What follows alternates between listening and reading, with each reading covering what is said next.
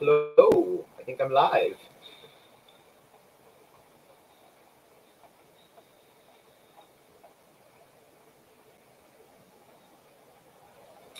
Just uh, obviously not even quite time for the workshop yet, so I'm just gonna kind of chill out and let people join.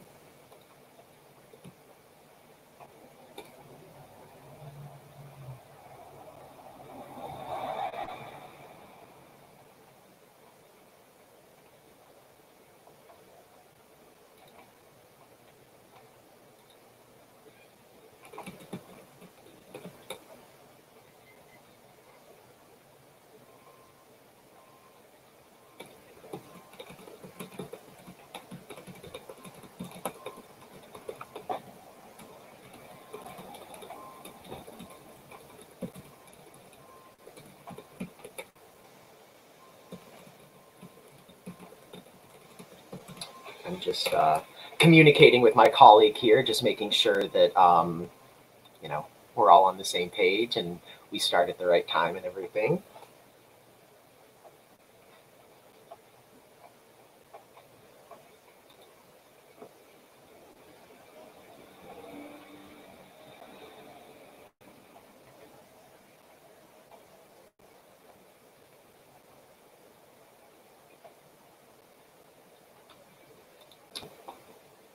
What's up, Zenta?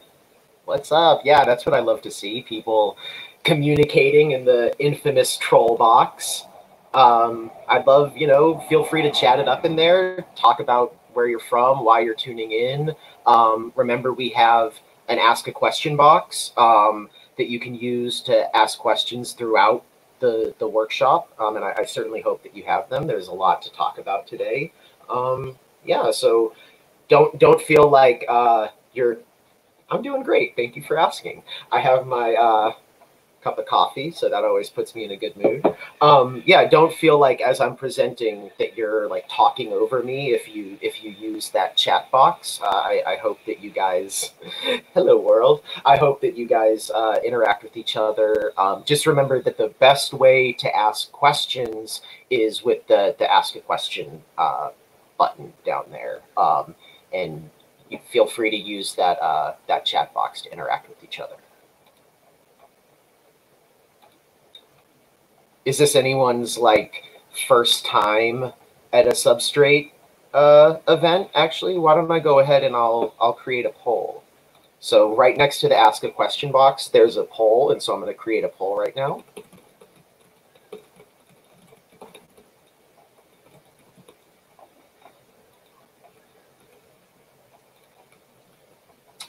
Right.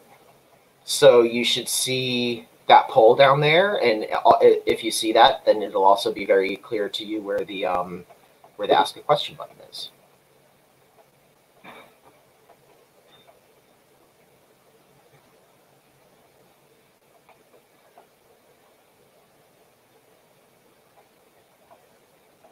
So I think we're probably going to be going live pretty soon. I do have a lot of stuff to cover today.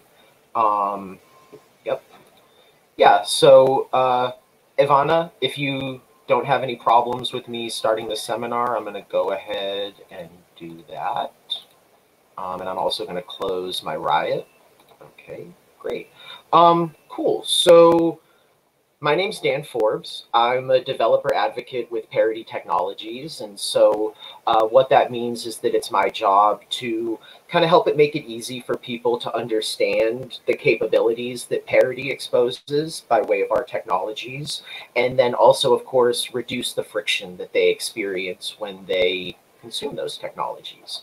And so the point of the workshop today is really to kind of introduce substrate and, and the parity ecosystem of tools to people who are really thinking about building a blockchain solution. So um, what I'm not going to do today is kind of tell you what a blockchain is and all that kind of stuff. I, I assume that, that that's kind of something you're already familiar with.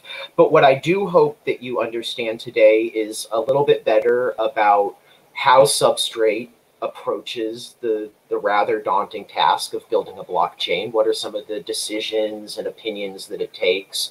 Um, then we'll kind of dive in a little bit into how you can actually consume those capabilities and use them to build a blockchain. And then in particular, what I'm going to highlight is kind of the rich, rich ecosystem of tools and utilities that exist around Substrate uh, that really makes all this stuff easy for builders to bring stuff to market in a, in a short period of time. Um, and so with that in mind, I'm going to go ahead and open up my slides. Just give me one second here. So actually what I can do is I can make these slides available to everyone. Let's see. Sorry.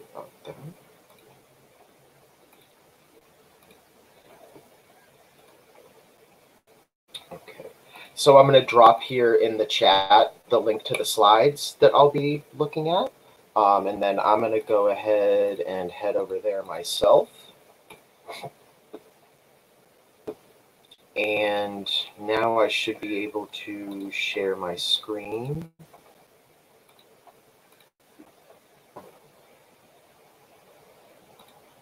Okay.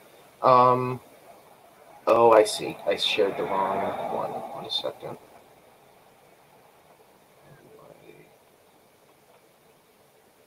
Unshare this screen.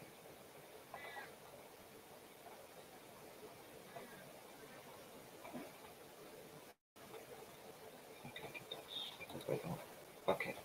I was afraid I was going to disconnect. Okay.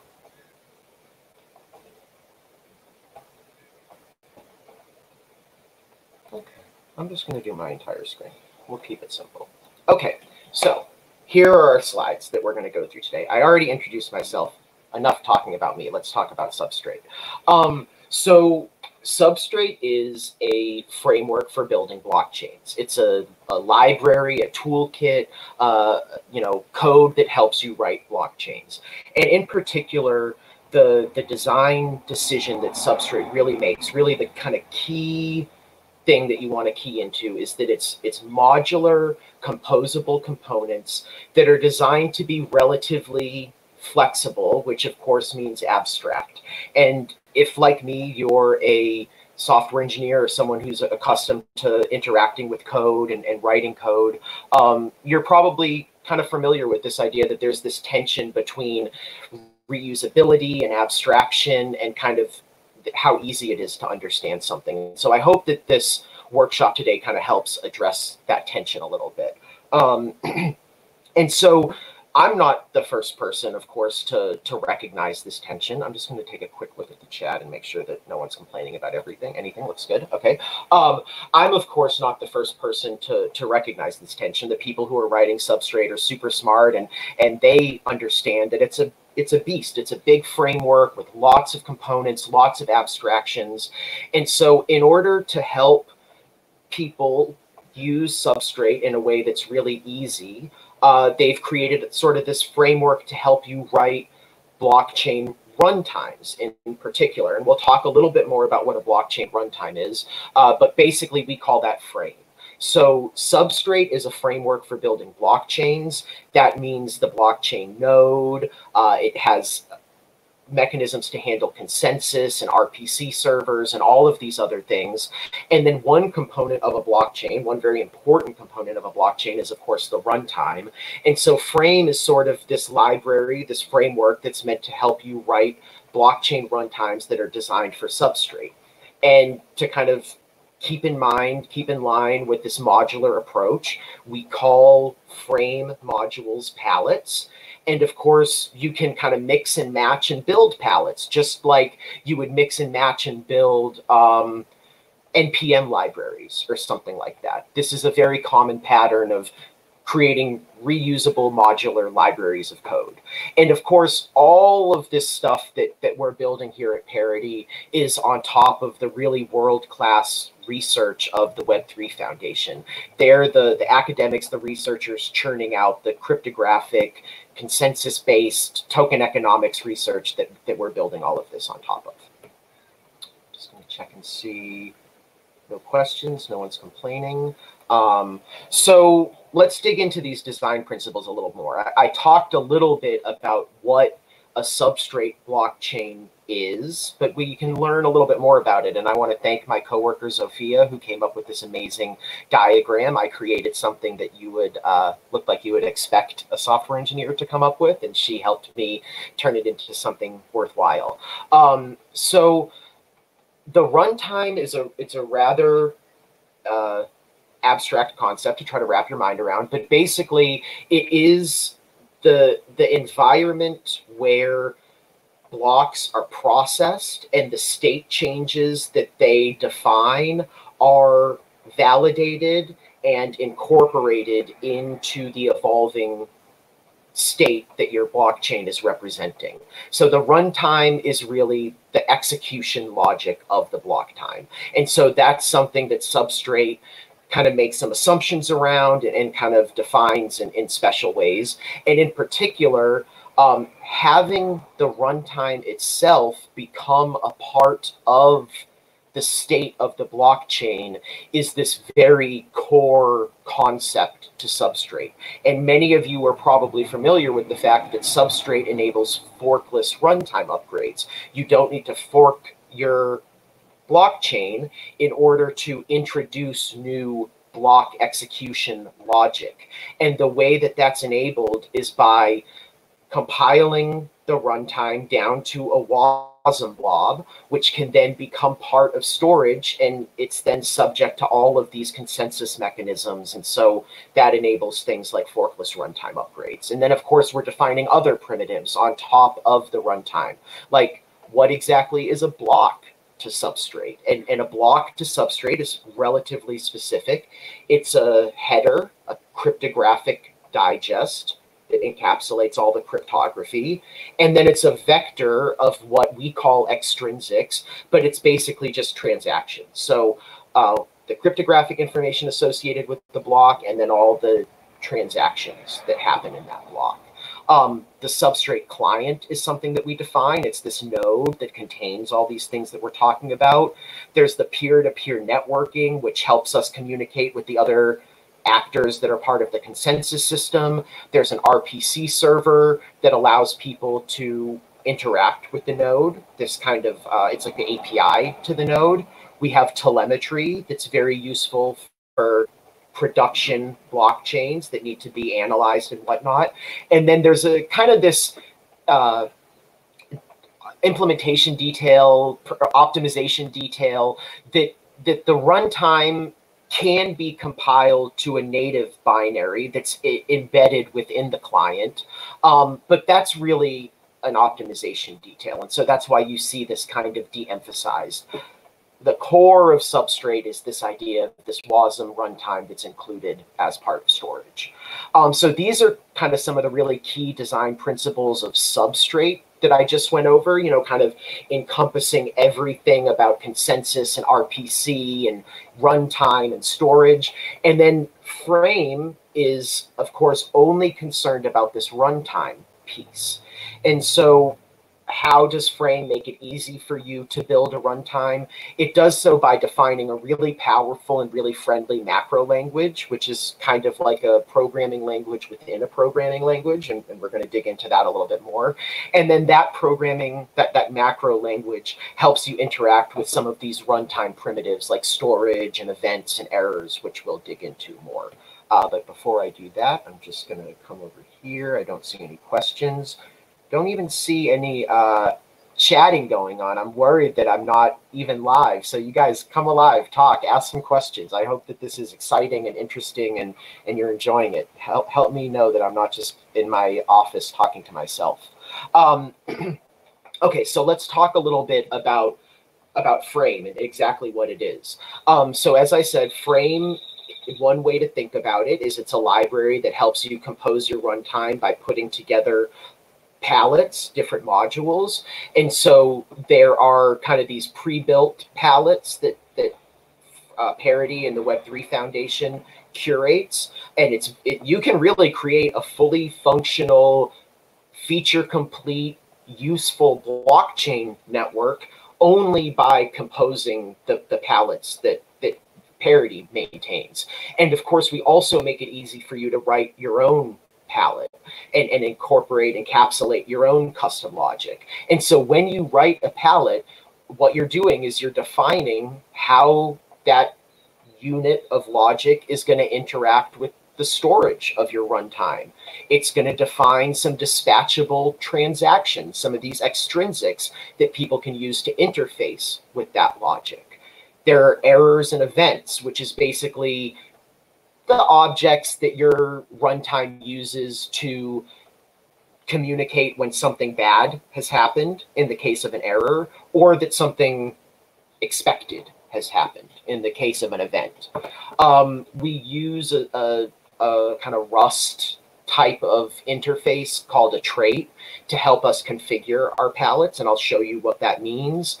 And then a pallet can also be included in another pallet. And so in addition to defining these dispatchable transactions that can be invoked from outside of the blockchain, uh, you can define public interfaces and functions that you can call into from other units of code.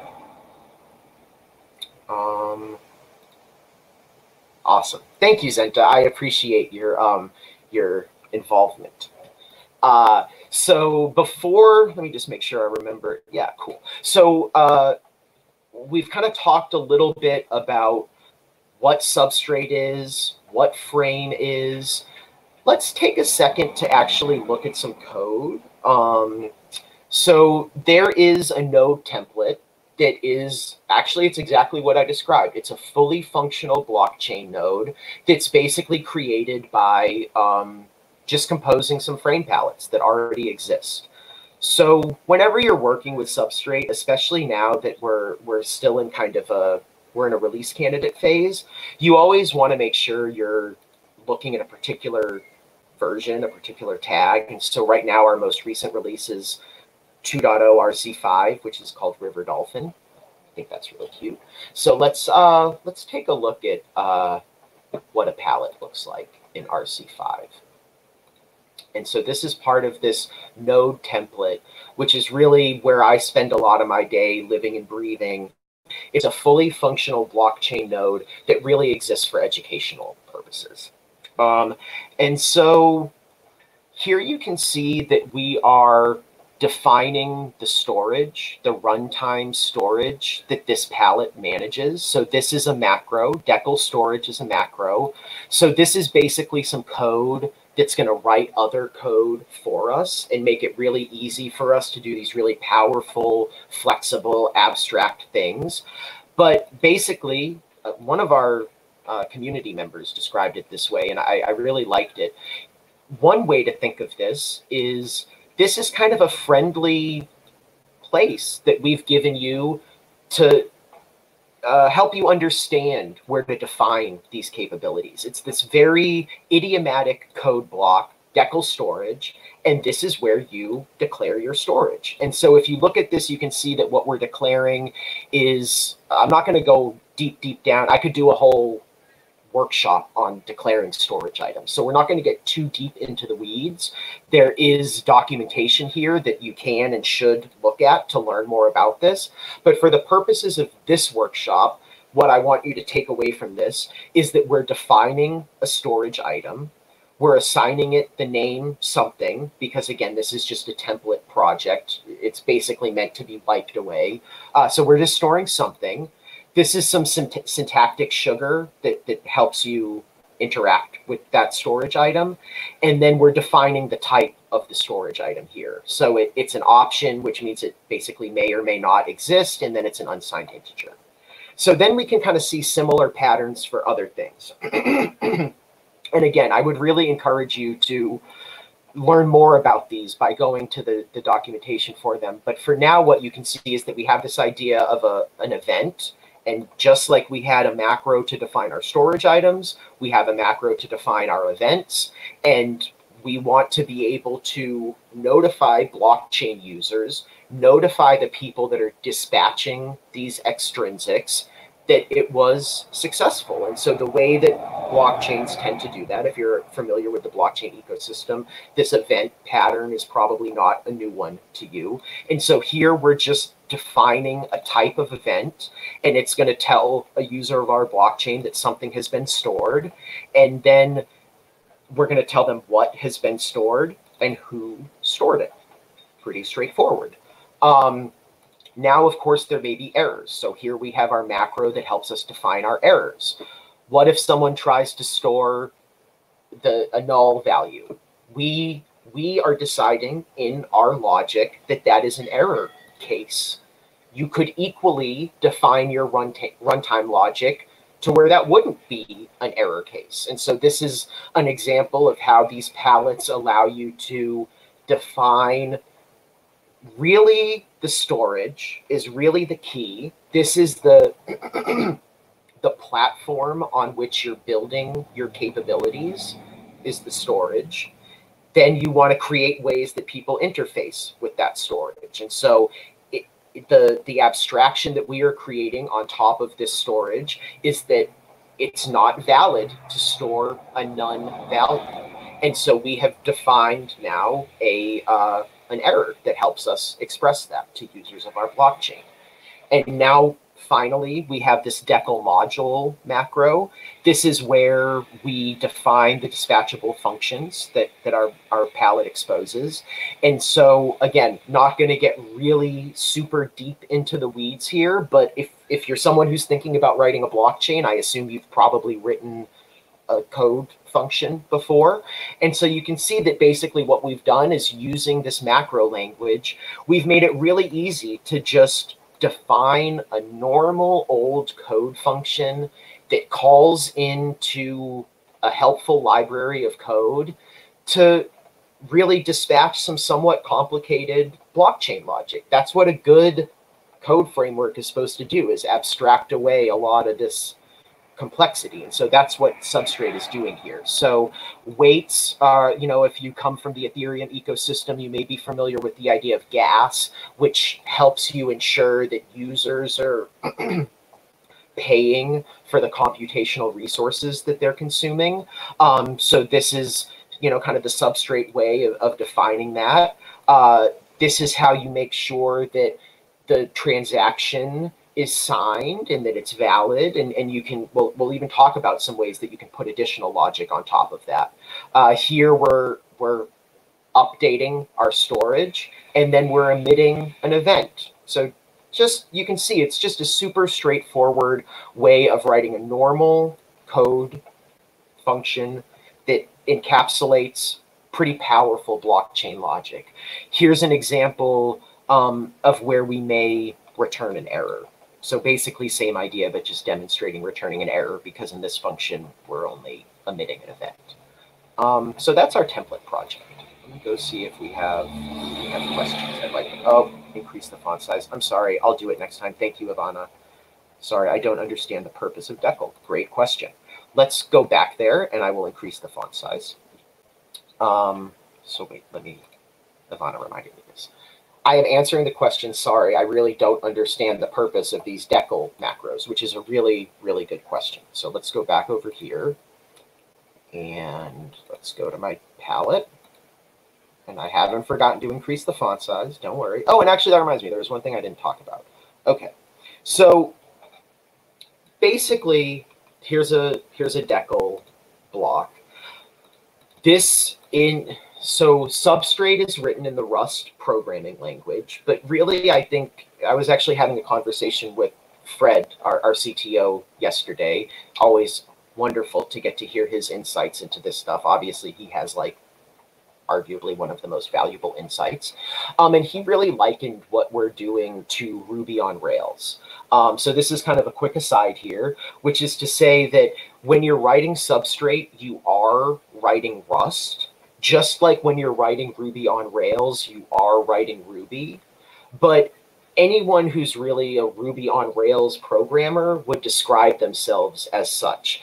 That is such a powerful, rich, robust, idiomatic framework that people who develop on Rails, they they've they almost don't consider themselves Ruby developers. They consider themselves Rails developers. So in a similar fashion, Substrate is written in Rust. You're certainly writing Rust when you write Substrate, but really it's these macros. And in Rust, the way that you identify a macro is with an exclamation point at the end. So that's how you know that this is a Rust macro.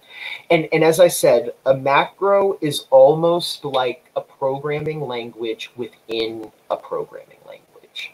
Um, this right here is essentially under the hood, it's code that writes other code. But really that's all that a programming language is, is code that writes other code. You have keywords, like in Rust, you have pub to indicate that something is public. I'm sure you're familiar with the enum keyword if you're coming from like Java or something like that. So basically, in Substrate, this is a keyword, decl error. It, this keyword is implemented as a macro, abstract that away. It's not really important.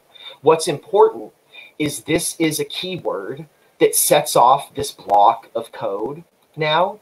And now within this block of code, I am declaring errors.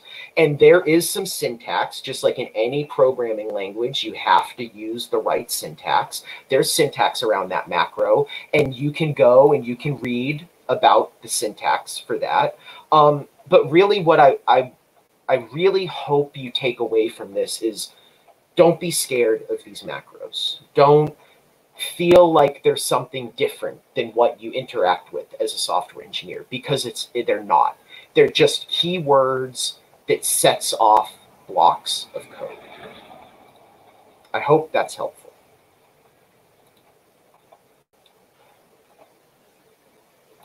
Uh, are there any estimates for the Substrate 2.0 stable release? Uh, that is out of the scope of this workshop, that, that question. Uh, really, the, the scope of this workshop is, as I described, help you understand how Substrate works and, and all that kind of stuff. Um, so not really going to answer that question. It looks like we have some comments there, which are probably very helpful. Question from YouTube. Is there a pallet for zero knowledge proof? Oh, that's an excellent question. Um, uh, the short answer is I don't know. The slightly longer answer is I think there may be, but I can't quite remember at this time. The even longer answer is Zenta, I think you need to write it.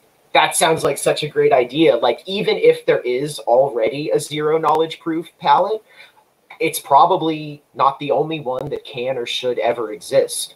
Um, and a pallet is exactly that's a, a great question. And um, let's do some research. Um, we have a Riot channel, and Ivana, I'll ask you to please drop in the the chat there the link to the Riot channel. So that's a great question to, to bring to Riot, and and we can talk about it more there.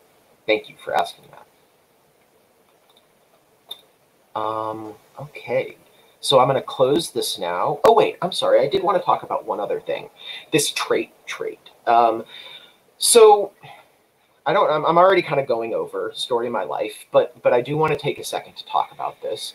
So we, we talked about this idea that substrate is very general, don't like to make a lot of assumptions about the way that things go down. Um, and so that means that we really focus on interfaces as opposed to implementation. So one thing to keep in mind is that in Rust, we call interfaces traits. Don't be scared by this word. It just means interface. And now I am actually working to get this name changed. Maybe this is one reason why we're not at, at Substrate 2.0 yet. Um, but basically, I think it would be more useful to think of this as being called configuration. Uh, because obviously, the word trait appears right here. You know it's a trait. Um, it, this is really how you configure the pallet. And so because we don't make a lot of assumptions in substrate, in frame, we don't, for instance, really want to make a lot of assumptions around what an event is. We talked about events. We talked about this idea that they're very a common pattern. It's something that your blockchain emits to let other people know that something happened. But we don't really want to specify the implementation of what that event is. We just want to be able to say to this pallet, hey, if you need to emit an event, this is kind of the interface that you use to do so. And so this trait is exactly how we do that. This is how we specify, this is how we configure those interfaces.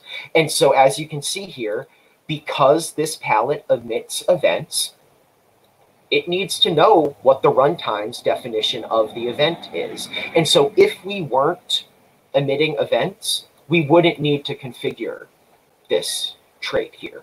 But since we are going to emit events, we need to configure this pallet to kind of understand how the runtime thinks of an event. And as I show you more code, I'll dig a little bit deeper into that. But I want to kind of help myself keep moving along. And so I'm going to close this window for now. Let's see if there's, we have another question. Thank you, Ivana, for sharing that.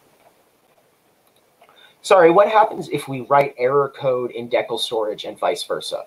It probably won't compile. I, I don't know. Um, but I would like essentially what you're asking me is like, what would happen if I started to declare a hash map and then started writing an if statement? I don't know, undefined behavior. The compiler would not be happy. Um, and so, again, just like you probably wouldn't ask yourself what would happen if I started defining an if statement in the middle of declaring a hash map, uh, don't even really ask yourself that question. Um, think of using the macros for what they're supposed to be used for. decl storage is meant to declare storage, and that's what you should use it for. Um, and, and don't try to write error code in decl storage because that's not that's not why we created it. Um, yeah, good question. Uh, okay, so let's keep moving along. Um, so we talked a lot about pallets going to quickly show you guys the recipes because I think this is a really important tool for developers. Uh, I like to think of recipes as a, a collection of, of answers to Stack Overflow questions that we anticipate people asking. So if you're writing a pallet or a runtime or a substrate node, you're probably going to run into some common sorry, some common problems, which of course then have patterns that, that people use to get around them. And so recipes along with these template projects are a really key resource that developers can use to help them implement these common patterns that they want to. Finally, of course, we have, well, not finally, but of course, we also have a front end template. And I'm going to show you a fork of that front end template today as we continue to demonstrate some of these capabilities.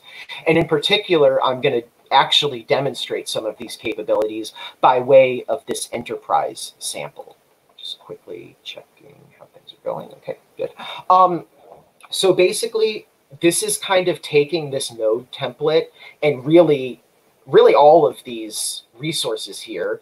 And this is kind of Parity taking all of this and taking on the perspective of an enterprise user who wants to build an end-to-end fully functional enterprise use case on top of substrate and so that's what we did and i'm going to kind of walk you through that here in the next couple minutes um, I'll quickly talk about it. It's a semi-permissioned network. And so one of the things we're really going to talk about in the sample is role-based access control. I that's I come from an enterprise background, and that's something that is intuitively very important to me. We're going to showcase this kind of multi-pallet architecture that's really you know, taking frame beyond the node template, which I showed you, and really using it in the real world. Um, we're not really going to talk about the off-chain worker, but the enterprise sample does include an off-chain worker. If you come from other blockchain ecosystems, you may be familiar with this idea of an oracle. And in fact, we talked about it at, at seminar on Tuesday. Seminar is a great way to get involved in the substrate community. And Ivana, if you want to drop a link to seminar, uh, that would be super helpful. Um, and so off-chain workers are, are, kind of one way that you can implement Oracle-like capabilities in Substrate. And, and so the enterprise sample includes an off-chain worker. Pretty much that's all I'm going to say about it. Um, but you should look into it and learn more about it and come chat with us about it in our Riot channel. Um, and, and what I'm going to use to demo, demo all this is a fully featured um, UI that we, we, we created with that front end template. Okay, so let's see. I'm, this is actually running on my computer now, so I'm just going to stop it so we can kind of start from scratch and this is just me kind of cleaning up my dev environment. Um, okay, so this is the enterprise sample repository. As you saw, I, I, got it just by clicking on this link right here, so you should all be able to access it as well. And it it is this kind of full end-to-end -end thing that I'm going to demonstrate today. It has the chain, which is the whole substrate piece of this. You can see now this looks very similar to the node template. We have a, a pallet and we have the runtime. Um, we have some code that we're not going to look into, but this is code that you can run. It is uh, JavaScript code that you can use to configure your chain.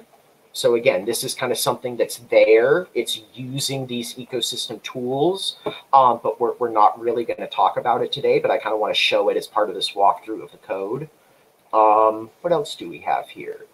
Um, we have the UI, which we'll look at, but let's take a little bit of a deeper dive into the chain before we go into the demo. And. So I'm going to go back to the pallet. So this time I'm actually going to open, this is not the template pallet. This is an actual custom pallet with useful custom logic that's been written for this demo. This really encapsulates the, the business logic that we're going to show in this demo, or at least a piece of it, because we are using a multi-pallet architecture. And I'll show you a little bit of how that manifests. But this should all look very familiar to you now. We're declaring errors, we're declaring events, we're declaring storage, some some interfaces that we can use to, to interact with all of these things. Um, and so one of the things that I talked about was configuring this pallet for the runtime. So let's take a look at how we did that. So now we are in the runtime, uh, and we're in the, the, the lib, the main implementation. And so we were just looking at the registrar pallet that's defined in this project. So here, let's just do it this way. I'm going to search for registrar. So here you can see we are implementing that trait that I talked about that you can kind of think of as being for configuration. We're implementing that configuration trait for the registrar pallet for the blockchain runtime. And so you can see as you look around here, we're doing this for many different pallets. So this is exactly what I'm talking about, creating a runtime by composing multiple frame pallets that all define individual little pieces of logic. And so in order to use frame to compose the runtime that way, the first thing you have to do is implement this configuration trait. So we are saying, okay, for that pallet, we're providing the event type, just like we talked about how we would have to do that. And we're saying for this pallet, when we implement it for the runtime, the event that that pallet depends on, it is the event of our runtime. We're configuring that interface.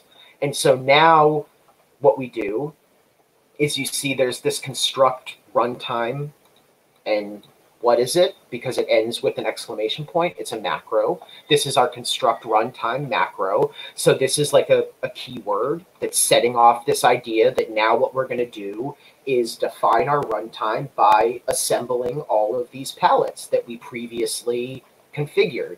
And so this is the implementation of the pallet within our runtime. And then this is the name that we give that module to the outside world. So you can basically, anytime you're looking at a frame runtime, really what you want to do is you want to find this construct runtime macro, and then you can come here and you can look and you can see, okay, what are the capabilities that define this runtime. System is basically, this is like frame. This is the frame system. So this, it's like necessary. And then you can look and you can see, okay, so this runtime, it has this idea of a timestamp. That's actually a very powerful idea in a blockchain. And, and frame makes that so easy.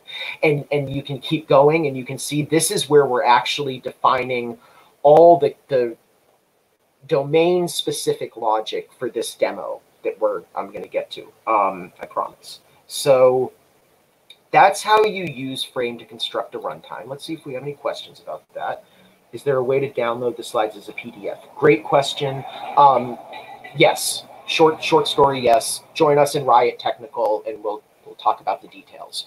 Um, okay, let's see it in action. So this is basically my code editor. I use Visual Studio Code, um, it, but you can see that this is the project that we were just looking at. It has the chain, the chain story, the listener, the UI. Um, if you're familiar with Rust, you're probably familiar with the idea that compile times are pretty long. So unfortunately, one thing I'm not going to be doing in this workshop today is writing code and compiling it and deploying it. I'm going to be relying on previously compiled code, but I think it's still going to be really powerful to kind of walk you through these capabilities. Um, go, going to launch the chain. Uh, so I did this already, but just to show you guys, first I'm going to make sure that kind of we're starting from a clean slate. There's no state in my blockchain. So yep, and you can see it didn't exist because I already did this. So now I can go ahead and I'll I'll launch the chain in dev mode. That's what these flags mean. So now I'm launching that substrate based chain that, that's defined by that runtime that we just looked at. And you can see that because we're running it in dev mode, it's only expecting a single node. So it lets us kind of do it all locally. And even though we only have one node, you can see that we are not only creating blocks, we're actually finalizing blocks. Um, so that's that's pretty cool. So now we have our chain running. Uh, and so now I'm going to go ahead and launch the UI, and this should open up my browser for me. And this UI that I'm opening was forked off of the front end template. Front end template makes it really easy to, to build these kinds of UIs. So just kind of uh, getting started there. Um, so this is just a friendly landing page for you. Uh, but the demo here, of course, is really up here. So what this demo encapsulates is a supply chain that's managed by a decentralized consortium.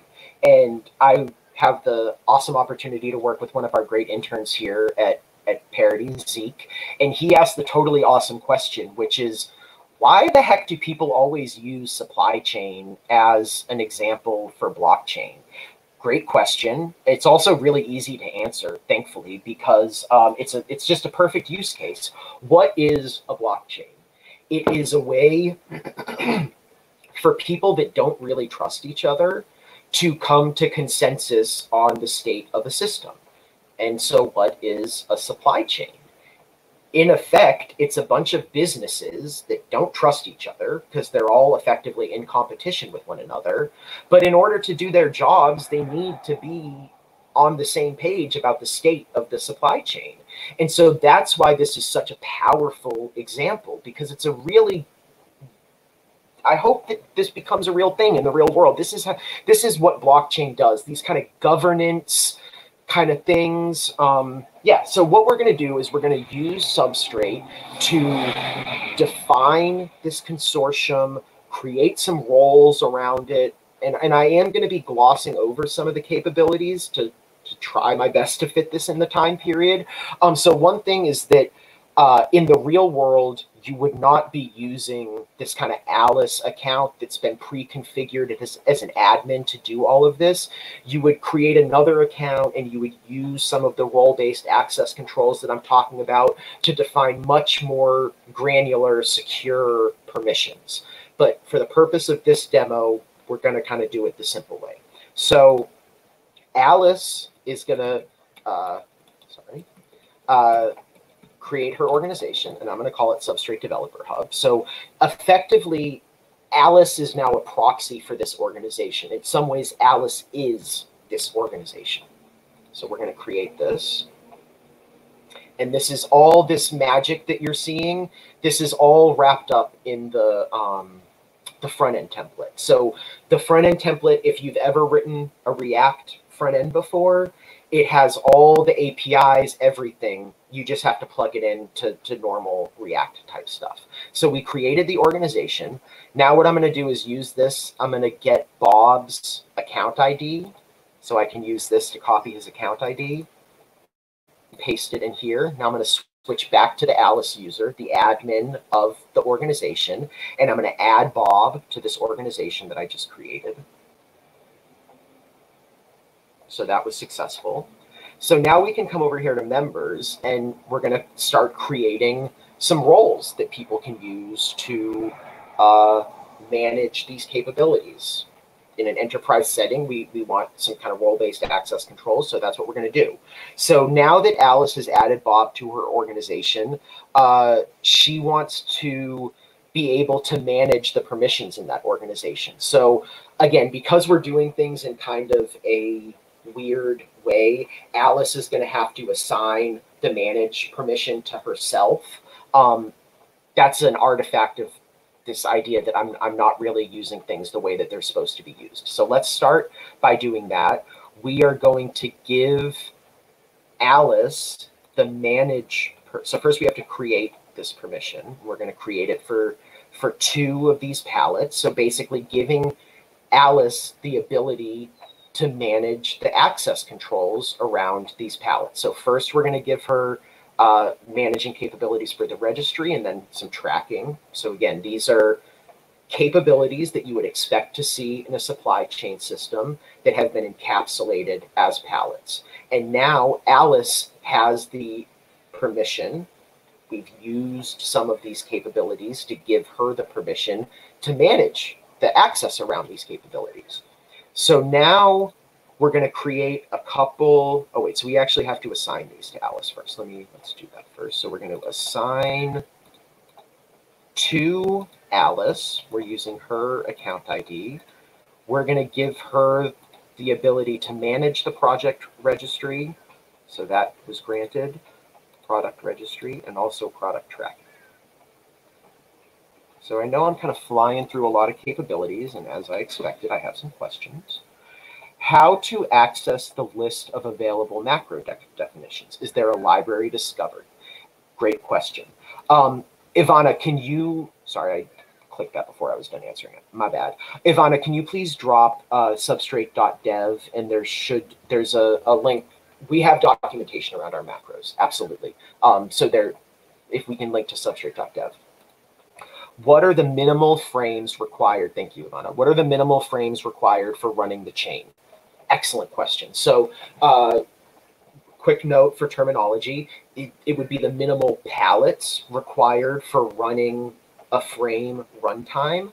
Um, and substrate.dev. And actually, let, let's just go ahead and let me, let me show you this really quick. And I can show you, we have a search bar, which works pretty well, no, not, not working here for me. So if you want to learn about run about the macros, you go under runtime and you go to runtime macros. And you can see here we have a bunch of macros listed. But the question that I'm going to answer now is about frame. And so where are we going to go? We're going to go to the, the frame section here. Um, and so this actually tells you that, that there is a few core parts of the frame library which need to be included. And so there's the system library, the executive module, the support library. Um, but I, let's, let's go back to our enterprise sample.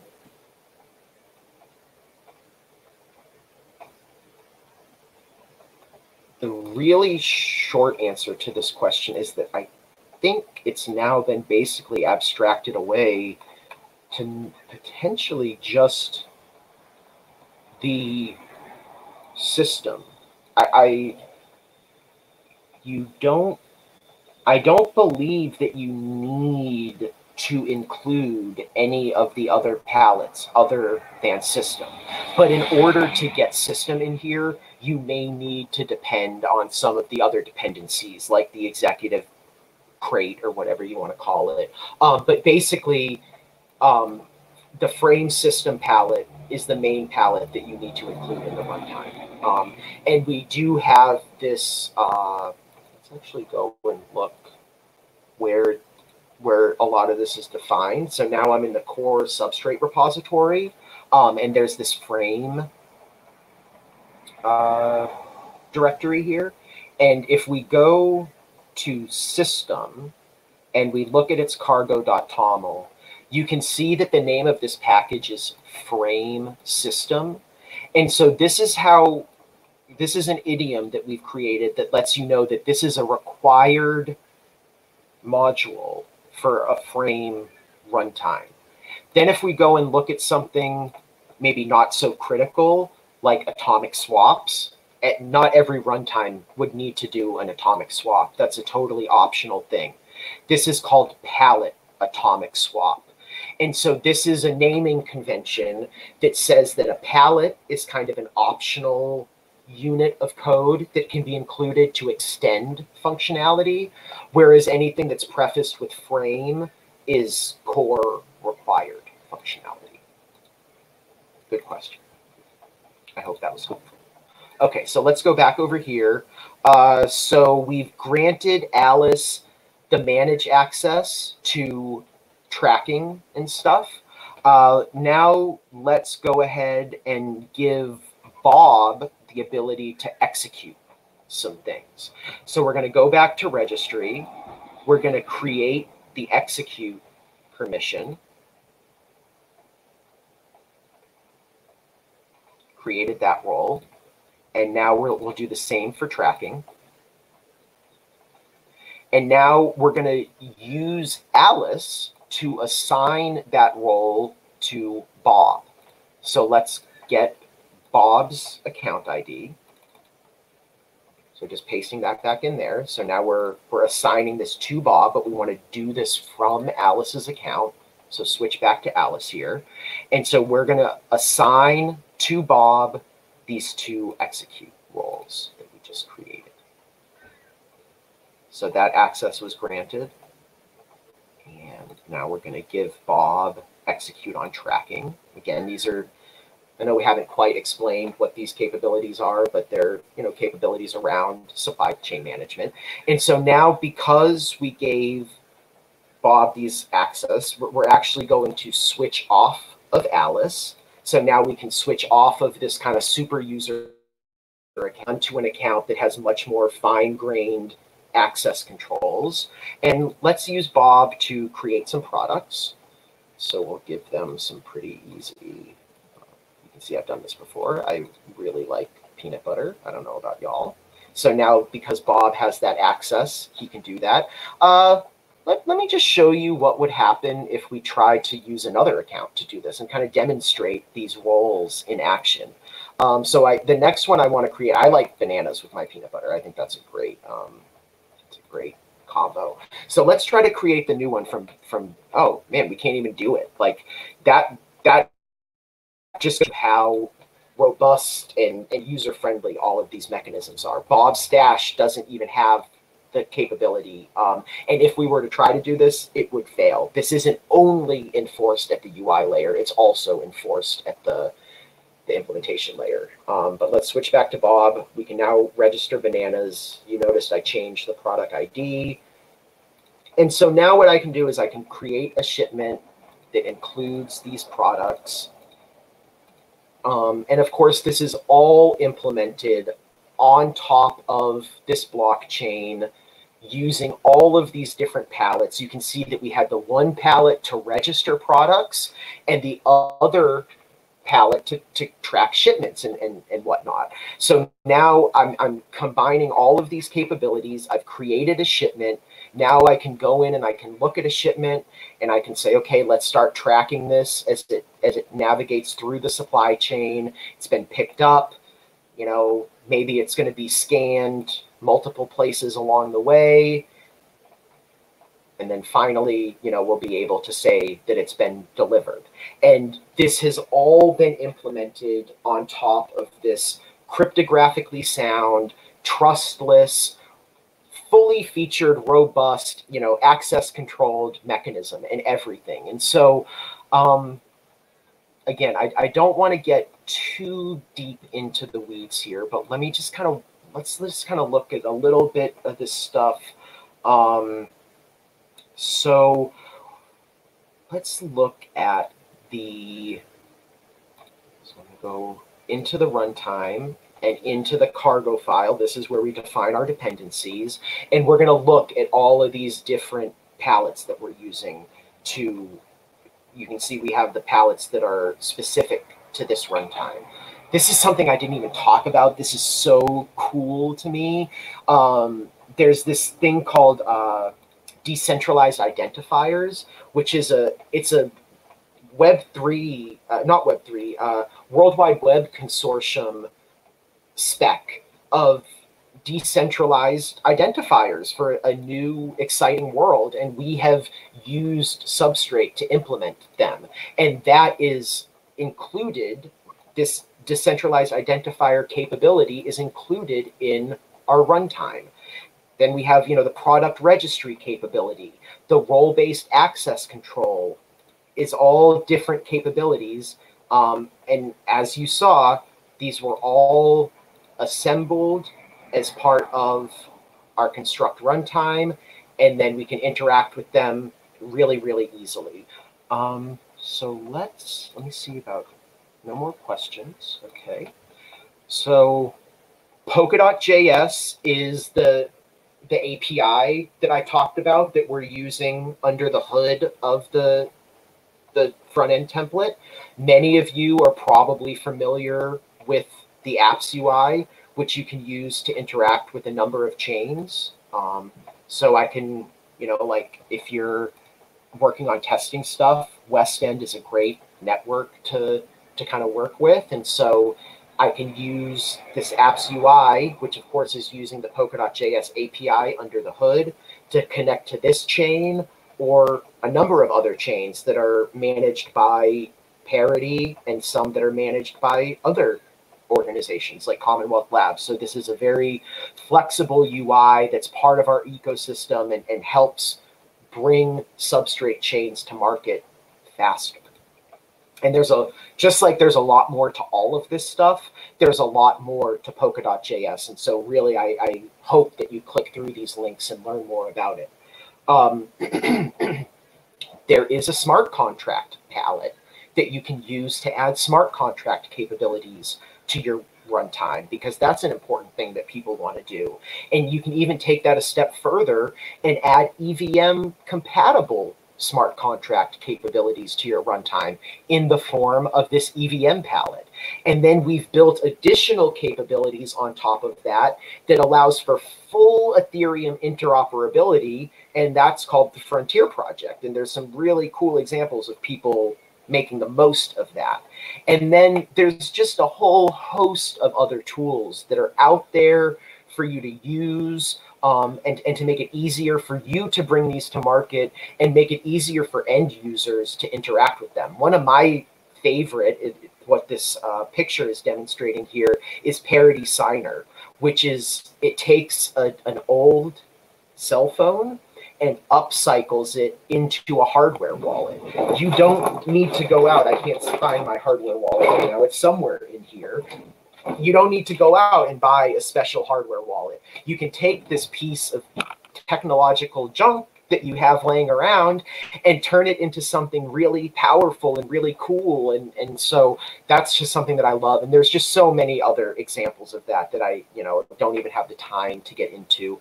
But really the purpose of this um, presentation was really to encourage you to want to learn more, to help you understand the right questions to ask. Um, so Ivana's already shared the link to the Developer Hub. You can find it there on the slides.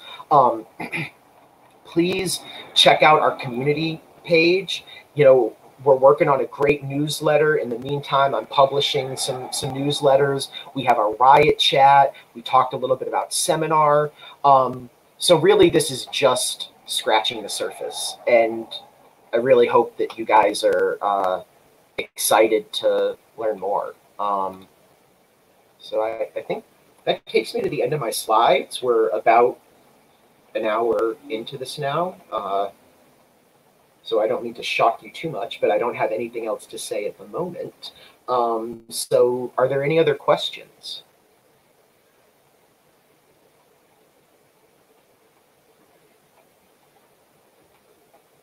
That's good. I, I feel good about that. I think we got some really good questions. So I feel like you guys were, were hearing what I was saying and um, I, I'm glad that you had questions. You absolutely should have questions. And I, am looking forward to seeing you guys in our Riot chat, seeing you at seminar. Um, you should be able to find me very easily on Riot, and, and please do. And please um, say hi to me. Send me a direct message. That's my favorite thing to do.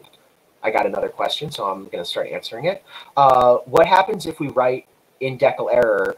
Uh, no, don't no need to apologize. It's not that weird of a question. Um, what what would happen? Your code won't compile. So the question is, uh, we must write storage logic inside decl storage macro. But what happens if we write in decl error? Um, it, I try it for yourself. Your code will not compile. You won't be able to to build your substrate chain. Um, and and it's totally reasonable to expect that that kind of thing may occur and you may not understand why your code isn't compiling. And so that's exactly when you can join our, our Riot chat, ask us some more questions, send me a direct message if, if that's the way that you feel most comfortable. Um, that, that's what we're here to do. We're here to help you with these questions. So thank you for, for asking it and don't, don't at all feel sorry for asking it. Awesome. I see lots of thanks and have a nice day. So it's it's now the top of the hour according to my computer, so I'm going to go ahead and sign off. But thank you to Ivana for supporting me for this workshop and for helping to plan it. And thanks to Ricardo and all the awesome people who put in all the hard work into the enterprise sample and everything. Uh, thanks for listening to me, and I can't wait to chat with you guys soon in Riot. Bye bye, guys. Oh, I see wait. I can wait. I don't got anything else to do. Shing, if you have another question, feel free to just type it in the, the troll box there. Um, yep, I see. I see your messages. Can you show me this? Waiting.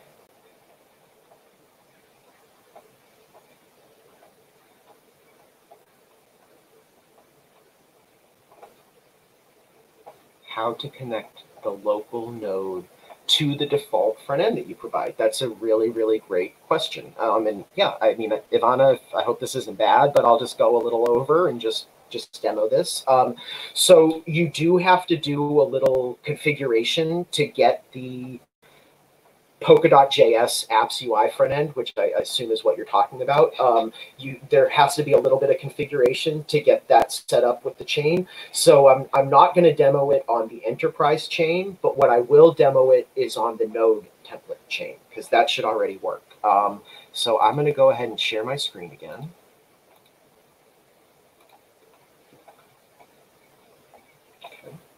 And so I'm just going to go ahead and stop the enterprise sample stuff.